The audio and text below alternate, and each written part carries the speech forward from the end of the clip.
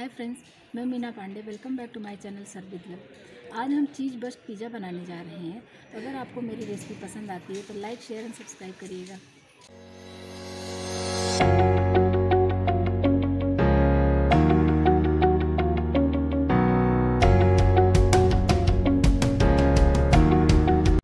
आज मैं चीज़ bast pizza बनाने जा रही हूँ। तो उसके लिए हमने जो है, आधा कप मैदा ले लिया है छान के। आधा कप ही हमने गेहूँ का आटा ले लिया है। दोनों हम मिला के बनाएँगे। हाफ़ टी स्पून हमने बेकिंग पाउडर लिया है और वन फोर्थ टी स्पून हमने बेकिंग सोडा ले लिया है।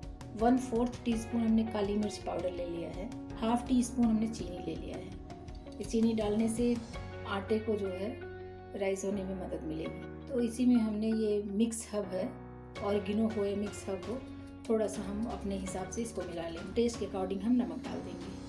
वन टेबल स्पून हम इसमें ऑयल डाल देंगे। तो ये हम इसको अच्छे तरीके से मिला लिए सारे सामान। हमने टू टेबल स्पून दही लिया है, थोड़ी खट्टी दही है। इसको भी इसी में डाल के हम मिला लेंगे। तो सॉफ्ट सा डो चाहिए हमें। वैसे दही से ही हमारा काम हो जाएगा, फिर भी थोड़ा बहुत एक आध टेबल स्पून हमें पानी की ज़रूरत पड़ेगी तो उसको लगा के हम आटा बना लेते हैं। ये देखिए तो हमारा आटा बन के तैयार हो गया। तो इसको हम ऐसे 10 मिनट के लिए ढक के रख देते हैं। हम अपना आटा देख लेते हैं। थोड़ा सा ये तेल लगा के दो तीन बूंद। इसको इस तरीके से हम मिक्स कर लेंगे। आटा हमारा तैयार हो गया है। इस आटे को हम हम बराबर के तीन टुकड़ों में ऐसे कर देते हैं। तो ये जो एक टुकड़ा हुआ, इसका हम रोटी बना के तवे पे सेक लेंगे। तो ये देखिए, चकले पे हम थोड़ा सा ये मैदा डस्ट करके बेल के रोटी बना के तवे पे पहले सेक लेते हैं। जितना बड़ा हमें पिज़्ज़ा बनाना है उतनी बड़ी हम ये पहले वाली रोटी बना के थोड़ा सा हल्का सा सेकेंगे। हमने गैस जला के तवा रख दिया है। तवा हमारा हल्का सा गर्म हो गया है। इसी पे हम अपनी ये जो रोटी बेल लिए हैं, इसको हल्का सा सेकेंगे। मतलब इसमें ब्राउन स्पॉट्स भी नहीं पड़ने देना है। इसको उलट के हटा लेना है। ये देखिए, हल्का एक कलर इसका बदल रहा है। तो अब इसको हम इस तरीके से उलट देंगे। दूसरी तरफ़ भी हल्का सा सेक लेंगे। बस बहुत हल्का सा सीखना है, बस ज़्यादा नहीं सीखना है। ये देखिए। आज अपने इस तवे में बनाएँगे पिज़्ज़ा। तो ये देखिए, हमने बटर डाल के ग्रीस कर लिया है। अब हम अपना पिज़्ज़ा का दूसरा बेस बना लेते हैं। थोड़ा सा चकले पे हम ये मैदा डस्ट करेंगे। ये आटा जो है, इसको हम चाहे तो इसको हम ऐसे हाथ से ही थोड़ा बहुत ऐसे फैला लें। ये देखिए, फैल रहा है। ये देखिए, थोड़ा सा हम मैदा फिर से डाल के, फिर से इसको इस तरीके से ऐसे फैला लेंगे।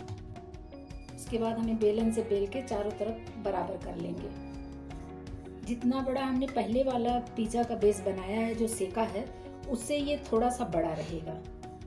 ये पिज़्ज़ा बेस को इसी में डाल देते हैं। ये पिज़्ज़ा सॉस ले लिया है। वो घर में ही बनाया हुआ है। तो हम थोड़ा थोड़ा मतलब साइड साइड में जगह छोड़ के फिर इसको इस तरीके से हम फैला देंगे। अब हम क्या करेंगे, ये स्लाइस चीज़ है। तो हम ये स्लाइस चीज़ डाल दे रहे हैं। आप इसमें मोजरेला चीज़ भी डाल सकते हो। ये देखिए, इस तरह से हमने ये डाल दिया। करेंगे कि जो ये हमने, ये रोटी बना ली थी, इसको हम इसी पे ऐसे रख देंगे। इस तरीके से। और जो ये साइड साइड से आटा हमारा बचा है, दिख रहा है, यहाँ इसको हम थोड़ा गीला करेंगे।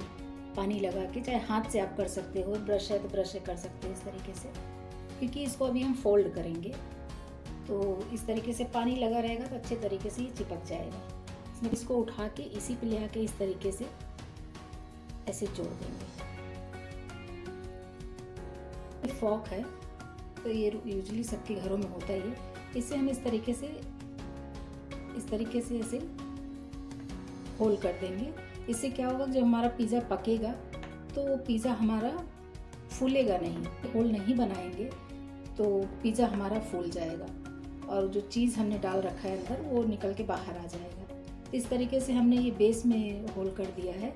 और जो हमने ये, इसको हमने ये फोल्ड किया है, इस पर भी हम इस तरीके से, ऐसे होल कर दीजिए चाहे इस तरीके से तो ये ऐसे चिपक जाएगा और ये खुलेगा नहीं। ये हमारा हो गया।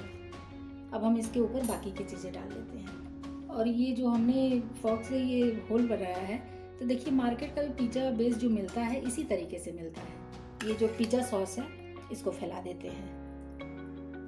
खूब अच्छे तरीके से जितना हमें फैलाना है अपने अकॉर्डिंग हमने ये कुछ सब्ज़ियाँ काट ली हैं। जैसे हमने दो टेबल स्पून के करीब ये कॉर्न उबाल लिया है और ये गोल गोल हमने टमाटर काट लिया है। और इसी तरीके से गोलाई में ही हमने ये शिमला मिर्च काटी है और ये कुछ प्याज हैं, उसको भी हमने ये रिंग साइज़ में ऐसे काट लिए हैं। गोल गोल काट के उसकी एक एक पत्तियाँ निकाल दी हैं। तो ये सब हम इसी के ऊपर रखेंगे।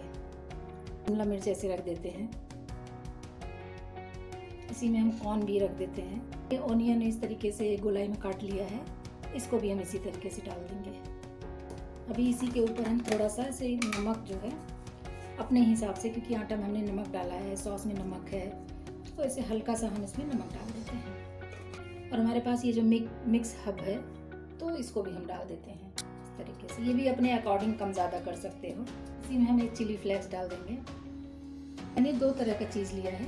ये कुछ है मोजरेला चीज़ को हमने घिस लिया है। और थोड़े से ये चीज़ था तो हमने इस तरीके से ये क्यूब वाले चीज़ थे तो इस तरीके से हमने छोटे छोटे पीसेज में काट लिए हैं। इसको भी हम इसी में रख देते हैं।